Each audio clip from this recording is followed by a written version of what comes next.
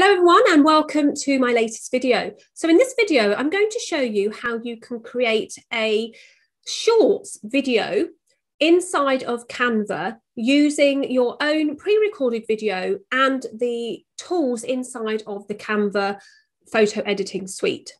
So what this means is that we're going to pull in a video that you've previously recorded. Perhaps you've recorded a video using Zoom as an example, or you've used your live streaming tools such as Restream, and you have a recording of that video. Now you may want to use Zoom because of its nice face moving option with the filters, or you may want to take a snippet from a live stream that you've done previously. What I'm going to show you how to do in this video is to actually bring that video into Canva, reduce the time down to one minute so that it's acceptable to use in YouTube Shorts. And also, if you want to, and you have the 60 second option inside your Instagram Reels, you could also use it there. Okay, so the, for the best way for me to show you this is to jump into Canva. And if you haven't got Canva, then I'll pop a link underneath this video and you can sign up for free to give it a go. So here we are inside of Canva. So what you need to do is you need to choose a size that will fit inside of your YouTube Shorts account. So in other words, you want to create a vertical video. Now, if you type in here, Instagram Reels, you'll come up with the Instagram Reels video option. So this is the perfect template for not only YouTube Shorts, but also Instagram Reels, and also if you want to, TikToks as well. Go ahead and click that. Okay, so now that it's opened up into the perfect aspect ratio for you, what we want to do is we want to bring in one of the videos that you want to use to create your shorts. So you may have actually pre-recorded a video inside of Zoom, which is only one minute long. So you're actually purposely recording videos specifically for shorts or for reels.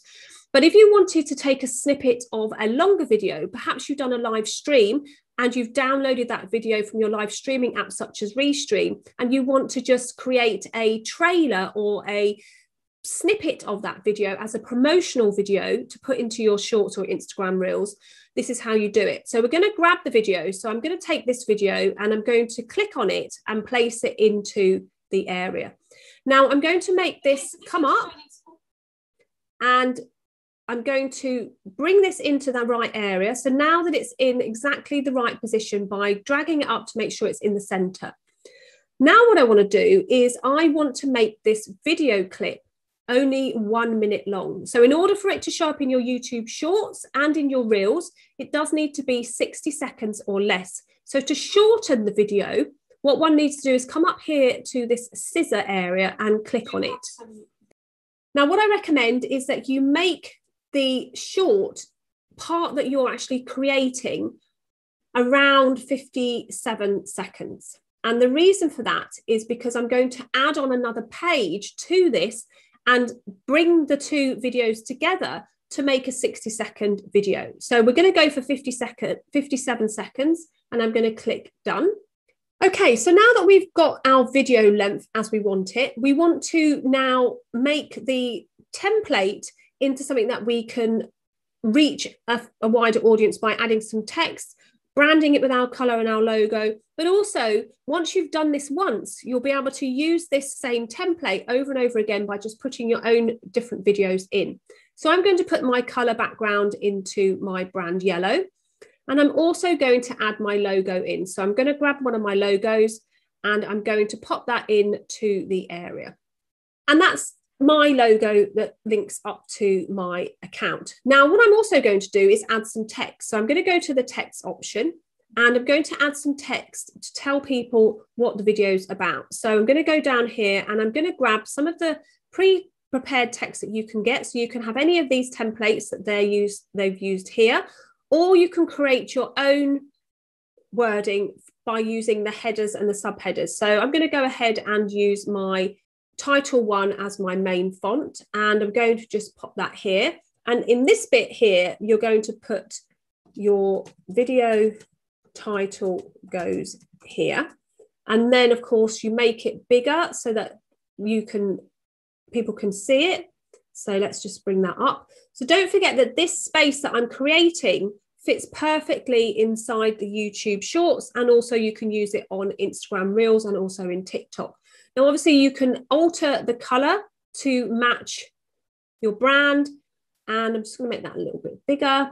So you could have your title goes here. You could also, if you wanted to, add a, another line which actually perhaps has something like um, a call to action. So the video title goes here. So I'm going to put here, watch the preview now.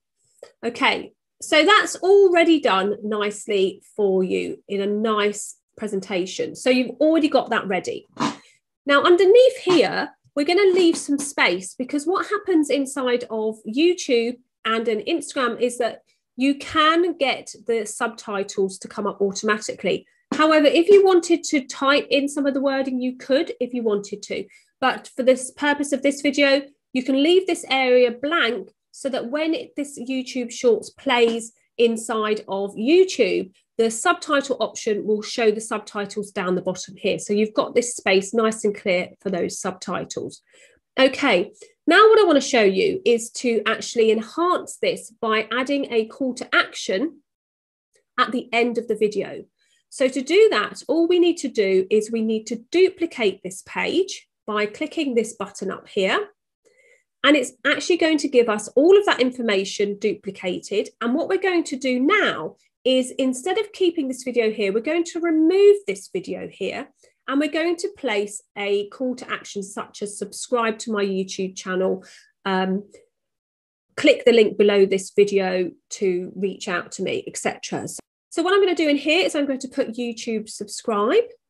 This is going to get me some of the subscribe options. And if I do a little video, it's going to bring some of those little options in. So perhaps if I grab this one, it gives me this little fuzzy option. And if we look here, we can see what they all do. So that's quite nice. So maybe I might put that one in.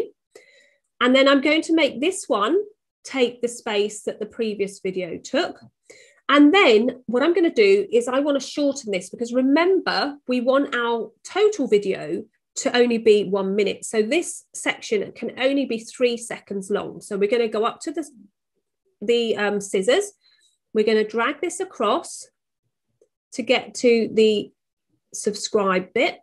And then we're just going to reduce this right down to three seconds. And then we need to move it so that we get the subscribe. Perfect. So we might just bring it over a little bit so that it starts subscribe and you get the finished bit there. Perfect. So then we're going to click done. So now at the top here, you can see that my video length is now one minute. Now, if you want to see both videos tiles together, what you can do is you can click this option down the bottom, which gives you the grid view. If you click that, it's actually going to show you the two videos together. Then if you click play, you're actually going to be able to see the full video. So this is the full video. I go along to near the end, we'll just let that play through and you'll see in a second the final bit. So I want to show you how you get that subscribe. Perfect.